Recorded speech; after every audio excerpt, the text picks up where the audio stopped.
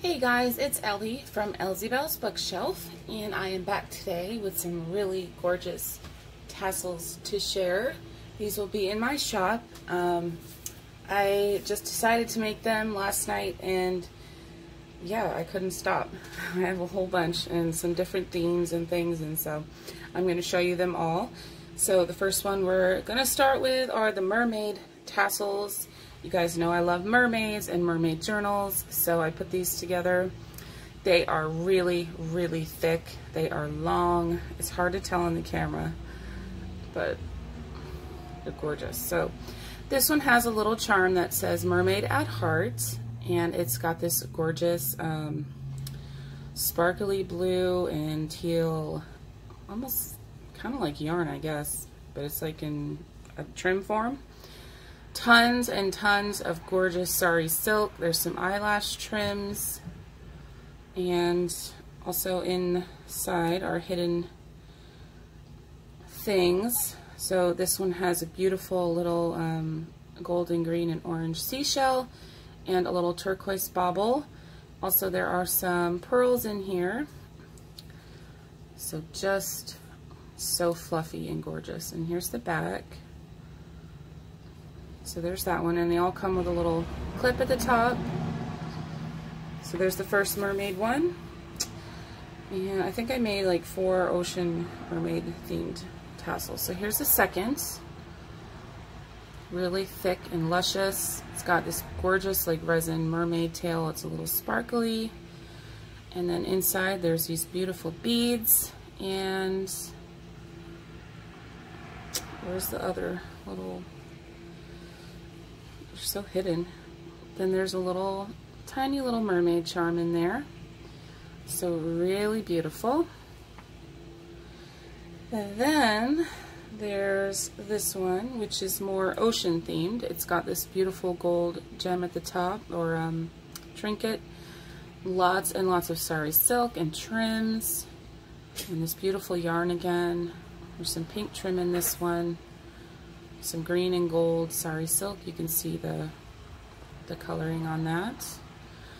And then in the inside we have this beautiful bead with a little sea turtle and then another little shell. Oh gosh, they're just so thick and fluffy. I really wish you guys could feel them. They're so pretty. Then we have another mermaid and she has a, um, a blue resin tail, same trims and beautiful sari silks, all from Victorian Gypsy Girl. And then a beautiful bead there, and another little mermaid. So there's that. So these will all be in the same listing, and you'll just choose uh, from the drop-down menu. I'll have them numbered. Okay, so let's get into the nature. We have this one has lots of greens and golds and some whites. This beautiful crochet lace. Oh, let's see what else. Don't you just love that green? So vibrant. This beautiful wooden butterfly button at the top. And this gorgeous leaf. And then on this trim, it has a pretty rose gold rose. And that might be it. I think that's it for this one. I put this charm up top. So there's Nature one. They're perfect for your journals. You can trim them down if they're too long. So here's another butterfly or Nature one. Has the beautiful green butterfly at the top. Lots and lots of sari silks. And this one also has, that one too, has um, some of that green fabric that I love. Strips of it. Some more crochet trims. There's eyelash trim. Maybe not on this one, but. And then hanging off is this pretty gold leaf. And this beautiful blue butterfly and a little gem right there. So there's this nature one. So fluffy. And then this one has a green dragonfly. And this one has some like orange and green, yellow tie-dye uh, Sari Silk. That is not from Victorian Gypsy Girl. I forget the shop. But I'll have everybody linked as well. And then this one has the rose gold flower. And a beautiful copper bead and a little green bead. So there's that. So they're all tied with um, linen thread, and I all left the, on all of them, I left the strings long in case you wanted to add something else to them, you could do that. There's that one. And then there's this one, which is just white lace, some beautiful purple uh, fabric, and some white sari silk. Really, really just gorgeous. This could be like for a wedding journal, a spring journal. Has another little rose gold rose and a pretty purple butterfly. So there's that one.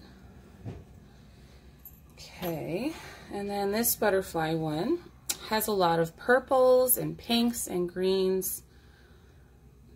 Just beautiful sari silk that's been tie-dyed. Look at that. Gorgeous.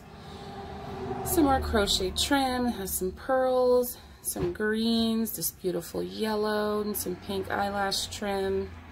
And of course this gorgeous butterfly piece. It's a little see-through, which I love. And then a, a wooden bead and a pretty like purple bead there. And then there's a tiny little silver butterfly inside there.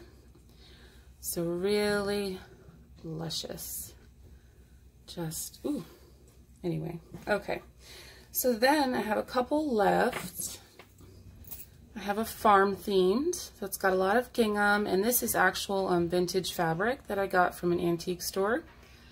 So I tore that into strips. This one too. Some crochet trim, also lots of sari silk. This beautiful red yarn trim that's a little sparkly. Um, let's see, we have some spring spring type fabric here strips. Then I took some of those little quilting squares I've been talking about and I stitched them all together with a vine stitch, if you can see that, and just made that into one long strip for the tassel. Let's see if I can find the other side right here. It's really, really pretty. We have some uh, maroon ribbon. And then there's a little chicken there at the top. There's a little thing that says blessed. I got this from Heather. This is from Alicia, I think.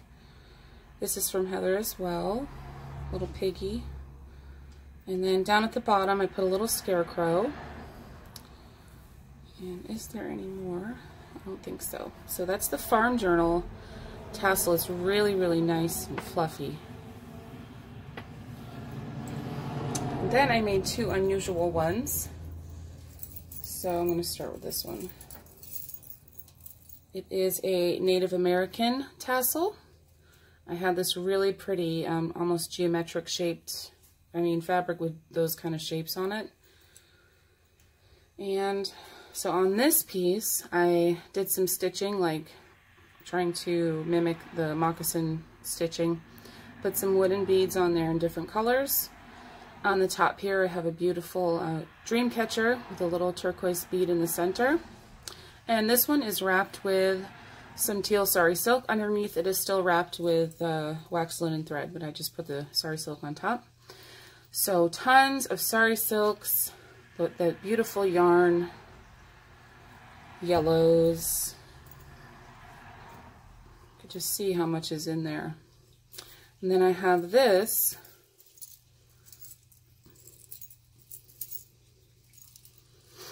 This is hanging off.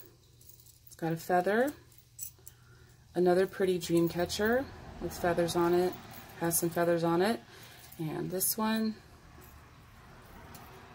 And this beautiful turquoise piece. So that is hanging off in the front of the tassel here. So it would hang like this. And let's see, I know I put some more stuff on here. I have this other little turquoise piece hanging. And there is a arrow right here, tucked inside. So that is the Native American one. This would go perfectly with my um, Painted Colors kit, which is a Native American journal kit that you can download digitally. I can also print it out for you and ship it if you would like.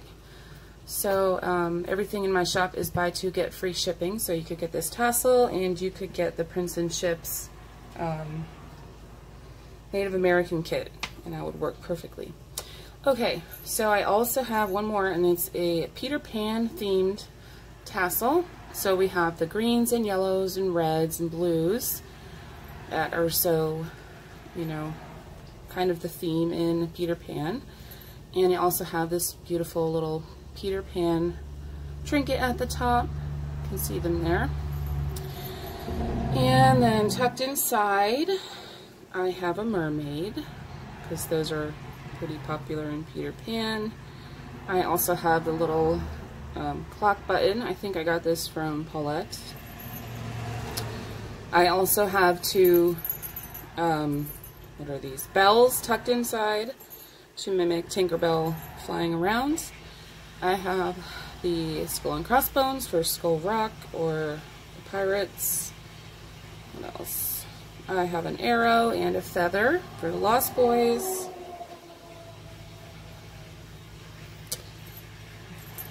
I'm sure if that's it or not. Nope. And I also have the moon and stars for when they um, wake up at night crying. so sad, but still, I put that in there. So it goes perfectly. So this is just gorgeous. So if anybody's making a Peter Pan journal, this is perfect. So there we go, guys. I hope you enjoyed this video. I hope that you love these tassels. They'll all be in my shop. Um, thank you so much for watching. Please like and subscribe, and I'll see you in the next video. Bye.